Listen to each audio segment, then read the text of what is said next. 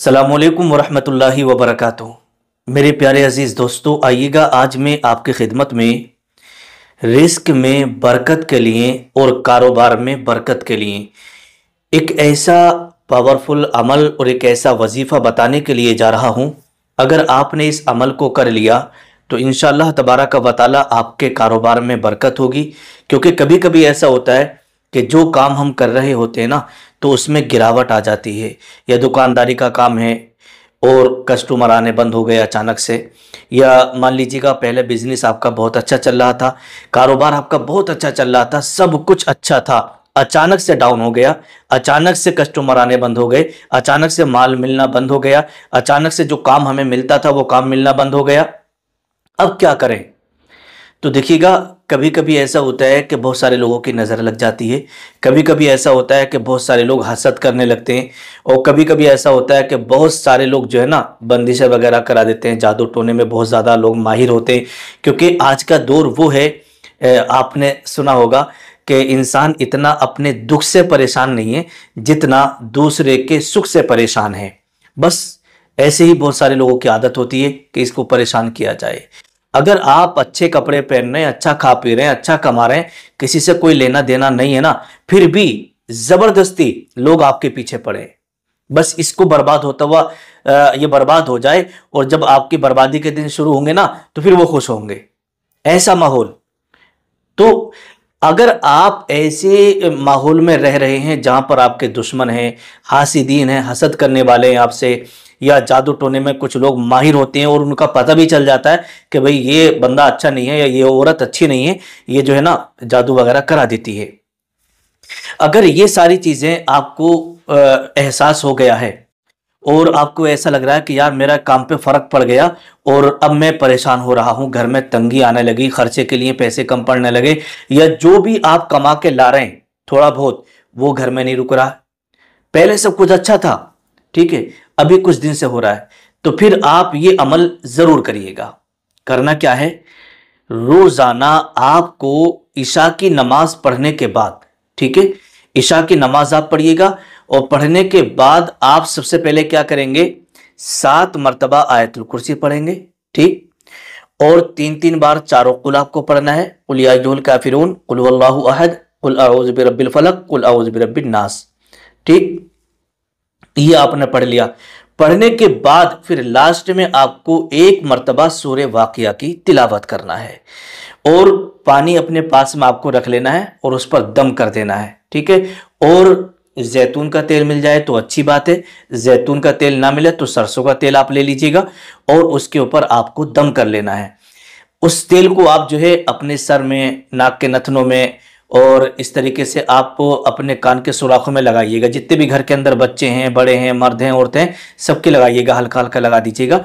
और जो पानी आपने दम किया है, उस पानी को पूरे घर वालों को पिलाएँ, बच्चों तक को सबको पिलाइएगा, ठीक है? और उसमें से कुछ पानी लेकर के अपनी दीवारों की जो दीवारें हैं, ये दीवार है तो इस दीवारों पर ऊपर चारों तरफ़ छिड़काव कर देना उस पानी का, ठीक है? और सूर्य बकरा, सूर्य बकरा आप मुसलसल चालीस दिन तक अपने घर में पढ़वाइएगा ठीक है? मुसलसल चालीस दिन तक अपने घर में सूर्य बकरा पढ़वाइएगा ये अमल आपको करना है। कितने दिन करना है? चालीस दिन आपको करना है। इनशाला तबारा का बताला जादू टोना, करा धरा, बंदिशें, कारोबार की रुकावटें ये जो आ रही है ना, ये सब इंशाल्लाह ख़त्म हो जाएँगी और फिर किसी के जो है जादू टोना वगैरह नहीं चलेगा, हिफाजत रहेगी। ये अमल आपको रोज़ाना करते रहना है, ठीक है? अब अब मसला ये आता है कि हज़रत, चलो जो कुरान शरीफ पढ़े हुए हैं, वो तो इस अमल को कर सकते हैं, लेकिन बहुत सारे हमारे इस्लामी भाई, इस्लामी बहनें ऐसी होती हैं जो कुरान शरीफ वगैरह पढ़े हुए नहीं होते तो वो क्या करेंगे? तो देखिएगा, यहाँ पर आप देख रहे हैं, यह तोहफ़ा नूरी है ना? तोहफ़ा नूरी तो ये जो कुरान शरीफ पढ़े हुए हैं, वो भी इसको रखें अपने घर में, और जो नहीं पढ़े हुए हैं, वो भी रखें। ये जो तोहफा नूरी है, इसके फ़ायदे ये हैं कि कारोबार में बरकत के लिए, रिस्क में बरकत के लिए, खैर बरकत के लिए, और जादू टोना, करा धरा, या घर के अंदर बीमार है। कभी कभी ऐसा होता है ना, बहुत सारे लोग बीमार होते हैं, भाई दवा चल रही है, लेकिन आराम ही नहीं मिल रहा है, चेकअप करा लिए, जांचें करा ली, आराम ही नहीं मिल रहा है। है ना, कारोबार कर रहे हैं, लेकिन उसमें फ़ायदा नहीं हो रहा, नुकसान पर नुकसान हुआ जा रहा है, घर का माहौल ख़राब हो रहा, बच्चे कहना नहीं मान रहे हैं, या मान लीजिएगा घर में आपस में लड़ाई रह रही है, मियाँ बीबी में आपस में टेंशन चल रही है, घर का भी माहौल ख़राब हो गया, कामों काज भी नहीं मिला, कारोबार भी बर्बाद हो गया, अब अगर ऐसी आपकी कंडीशन है तो फिर ये तोहफ़ा नूरी आपके लिए बहुत ज़्यादा ज़रूरी है। आपकी गाड़ियाँ चल रही हैं तो गाड़ी में इस तोहफ़ा नूरी को रखें, दुकान चल रही है तो इस तोहफ़ा नूरी को आप अपनी दुकान में रखिएगा, या फिर आपका घूमने फिरने का काम है और आप अपनी हिफाजत के लिए चाहते हैं, है ना, ताकि आपको किसी की नज़र न लगे, जादू टोना ना हो तो फिर आप अपने सीने वाली पॉकेट में इस तोहफ़ा नूरी को अपने पास में रख के निकलिएगा।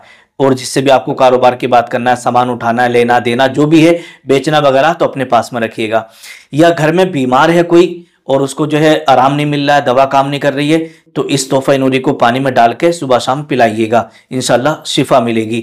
इसी तरीके से घर के अंदर बंदिशें वगैरह हैं, कुछ भी है तो इस तोहफा नूरी को आप अपने घर में रखिएगा। ठीक है? आप घर की हिफाजत के लिए तोहफा नूरी दुकान पर कहीं जाते हैं तो एक तोहफा नूरी दुकान में रखिएगा। और एक अपने पास में रखिएगा। तीन तोहफा नूरी आप रखिएगा। और अगर आप तीन ना भी रख सकें तो एक तो ज़रूर आप अपने घर में रखिएगा ताकि आपके घर की हिफाजत रहे। घर में जादू टोना का असर है तो वो ख़त्म हो जाए, बीमारी है तो वो दूर हो जाए, उससे शिफा मिल जाए। तो इतना आपको काम करना है।